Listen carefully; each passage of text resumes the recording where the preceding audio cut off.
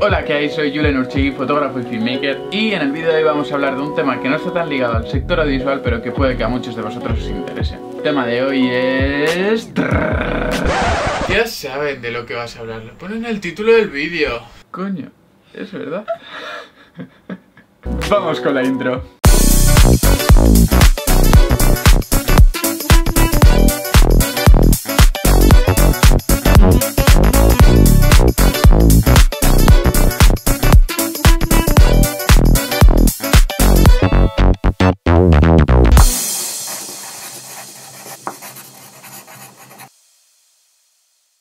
El pasado verano de 2020, mientras trabajaba en una serie de televisión, empecé a mirar furgonetas de segunda mano y como de costumbre estaba indeciso.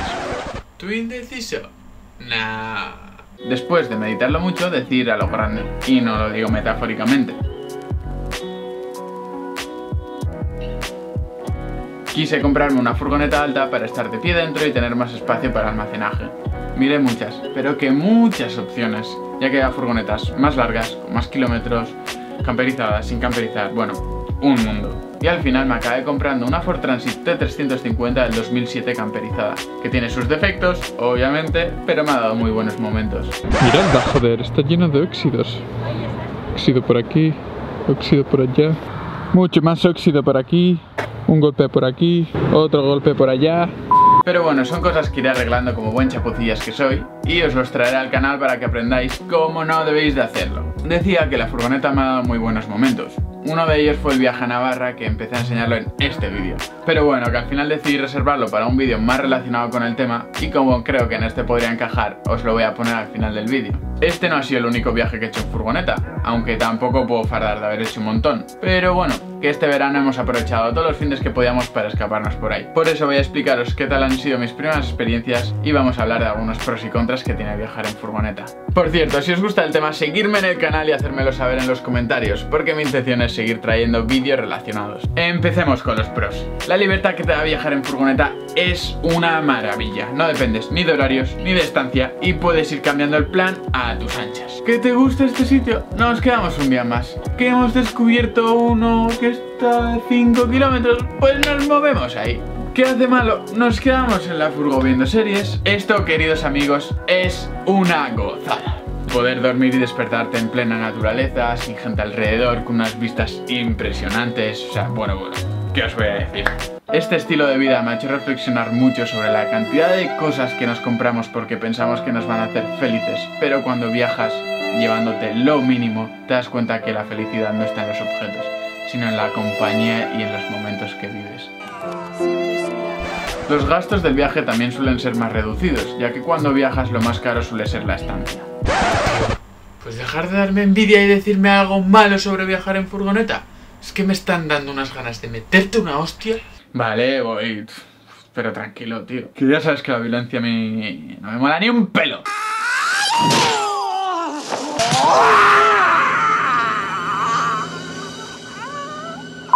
Queridos amigos, una cosa os voy a decir que seguro que os quitan las ganas de viajar en furgoneta. Y es que no tener ni lavabo, ni ducha, ni baño es una mierda.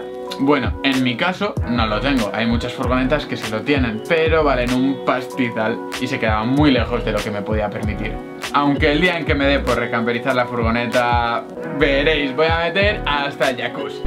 Menudo flipao, jacuzzi dice, y no tiene dinero ni para un rollo de papel higiénico. Y yo aquí de mientras sin cobrar ni un duro. ¡Qué hijo de puta! Otro de los problemas con el que tenemos que convivir es que no podemos acampar en muchos sitios, cosa que en realidad podemos evitar si tenemos todas nuestras cosas dentro de la furgoneta. Una anécdota que nos ocurrió a mi pareja y a mí en el viaje a Navarra es que se nos ocurrió la maravillosa idea de ponernos a cocinar en un parking que estaba al lado de un mirador chulísimo. Pues resulta que terminamos de comer y nos viene una mujer de verde que no sabíamos si era bióloga, guarda forestal o qué leches y nos advirtió de que podían multarnos por estar acampando ahí. Nosotros pedimos perdón y continuamos con el viaje, pero nos podíamos haber llevado una jugosa multa, así que tened mucho cuidado con dónde plantéis vuestra silla y vuestra mesa para comer. Otro de los problemas que nos hemos encontrado es que si llueve te toca cocinar dentro, y adivinar lo que sucede. Cocinando unas... Unas tetas. Ya mira, se ve el de luz, Ah, sí. del humo que hay. Obviamente, depende de lo que cocines, puedes soltar más humo o menos. Pero bueno, que nosotros aquel día, para evitar cocinar, nos fuimos a un bar a pedir un bocadillo vegetal sin atún y como de costumbre, pues el bocadillo parecía una lechuga entre pan y pan. Así que nos sentíamos muy tentados a tener que cocinar algo más para meter al bocadillo y se nos ocurrió la maravillosa idea de cocinar un par de setas a la plancha dentro de la furgoneta. Esto lleva a tener que abrir las ventanas para ventilar y en consecuencia dejar entrar el frío, punto del que también vamos a hablar. De noche se duerme muy bien, cuando puedes abrir una ventanilla para que corra un poco el aire y eso. Pero es que de día parece eso un horno. No te puedes echar ni una siesta. Alucináis. Pero a medida que se acerca el invierno también... Ojito, ya podéis echarnos unas cuantas mantas encima porque si no... Creo que pocas cosas más me quedan por decir. Así que si os gusta el tema, pedirme más vídeos. Joder, no es tan difícil. Hasta aquí la explicación de hoy. Os dejo con el vídeo de Navarra y recordad que nos vemos la semana que viene con más ganas que nunca.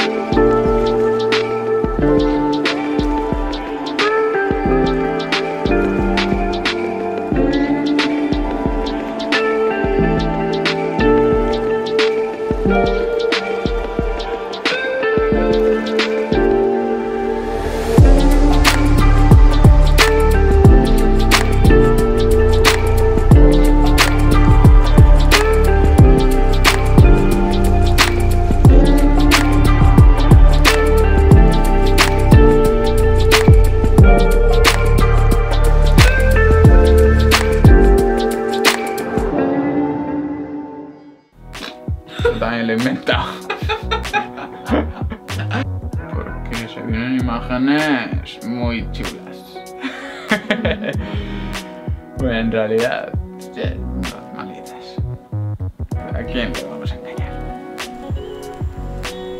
Es que no se entera, amigos. No se entera de nada. Leo, lo digo, lo leo, lo digo. Así es la vida del youtuber que se lo curra bien. que se curra unos buenos textos que os harán entreteneros o aburriros. Es que qué puto liante que soy. Amor, te ha salido bien. Me ha salido muy bien. Sí, Venga, sí vale. Eh, no pares, ¿eh? No pares. Sigue, sigue.